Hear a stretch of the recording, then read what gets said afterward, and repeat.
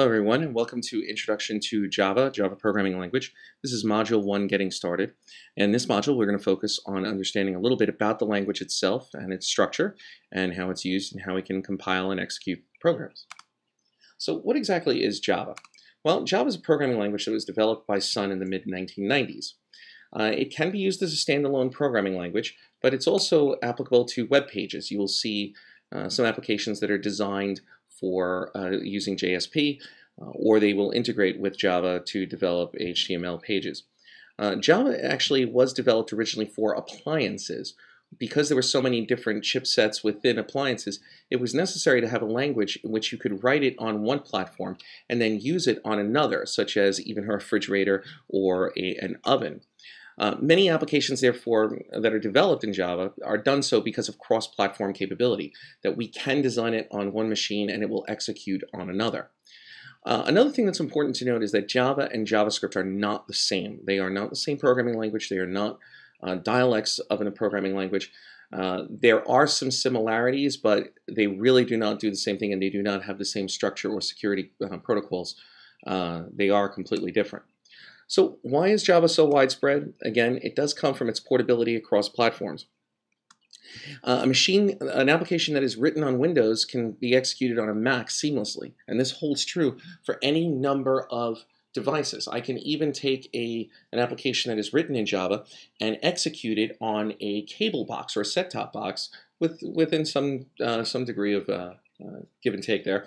Uh, but you can execute it because there is a Java virtual machine. Uh, theoretically, it would work. This is known as write once, read anywhere, that I can write it on one platform and read it or execute it anywhere I'd like. And it does this because Java is not really compiled like other programming languages. In other programming languages, you compile the code, and it uses libraries that are specific to the chipset of that code. Well, that doesn't really occur in Java because of the use of what's, what are called these virtual machines, which sit on top of the actual hardware. So its portability comes from this use, as we said, of virtual machines and something called bytecode. What occurs is that we have our Java program that we write and we quote unquote compile it.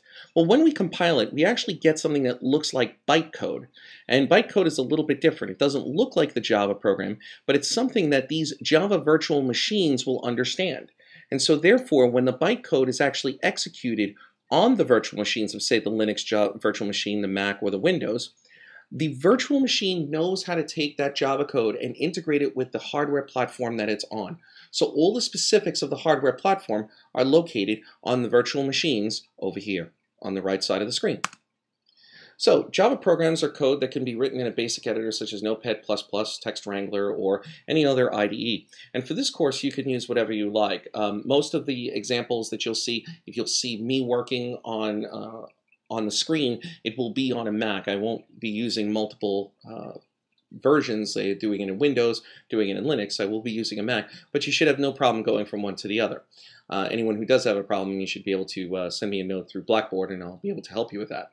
Um, the console output is primarily our code is written to the console. So if you're familiar with a command prompt or you're familiar with terminal in Mac, uh, you'll see we're going to execute the code in those and then they will actually run and you will see the output there. When we get to things such as applets and even graphical user interfaces, uh, the introduction of that, it will run a window that would be very similar to what you would notice as a like a Windows window or even a Mac window. What our program structure looks like for Java is a public class and methods. The public class is basically where the code starts, okay, and there's a method in there called main, and that is actually the starting point of our program. What we'll find is that when we compile and execute our code, uh, we will have a Java program, let's say start.java, and we will execute, we will compile it using this thing called javac. And so what we'll do is we'll say javac and then the name of that Java file.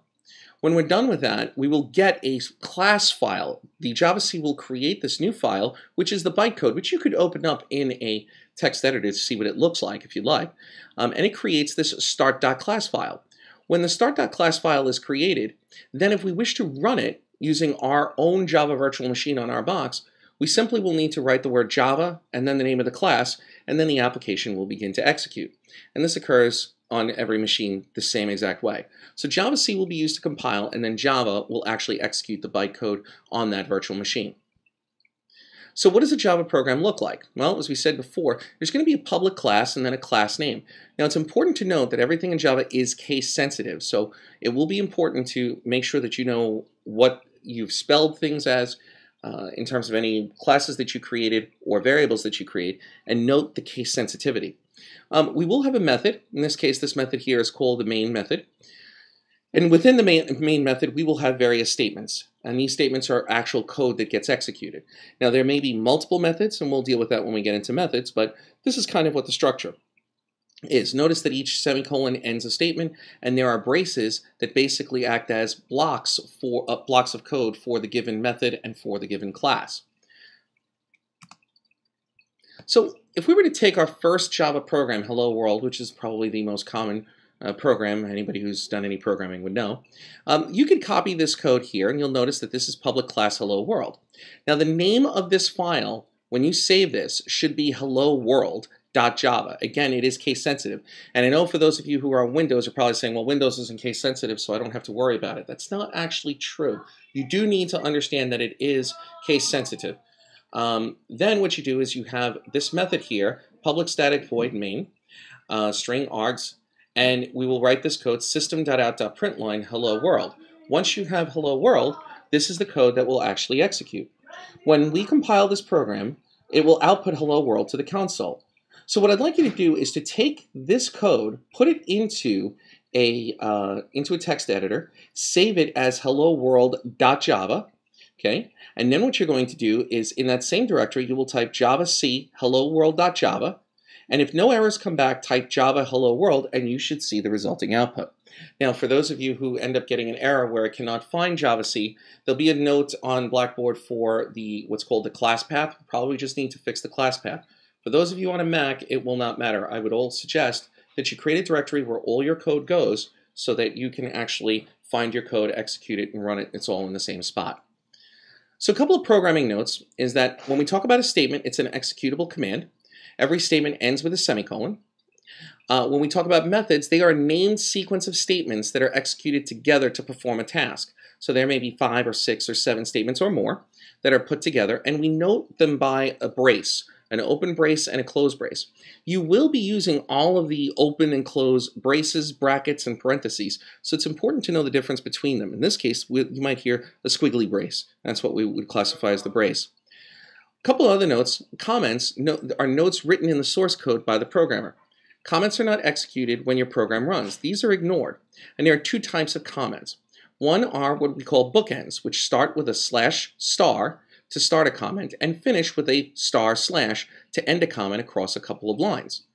The other one is called a leading comment, which is basically you use a double slash at the beginning of your comment to comment out the remaining part of the line.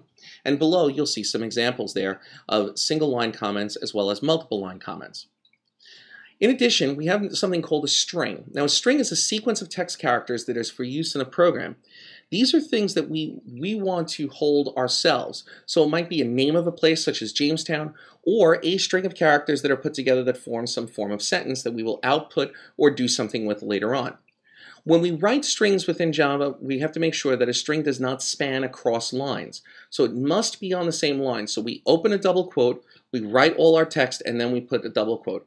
If you wish to put carriage returns and uh, other types of other special characters, there's a way to do that, and a couple of them are listed below, and you'll see how we do those over time, and there'll be a list of special characters for you as well.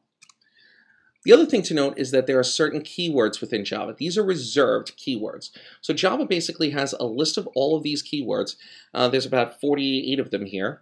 And what you'll notice is that you can use, you cannot use these in terms of your variables. You cannot use them in terms of class names or methods. And you will learn many of these. Some of them you will not use or you may not even worry about, especially in the introduction course. But as you go further, you will probably use some of them. Uh, what's important to note is that you could use some of the words as variable names, such as private, but if you change the capitalization. But it's not a good idea to do that. It's always a good idea to not use any of these words as your variables, class names, or anything, whether there's capitalization or not. So that concludes this first module. We'll see you for the second module.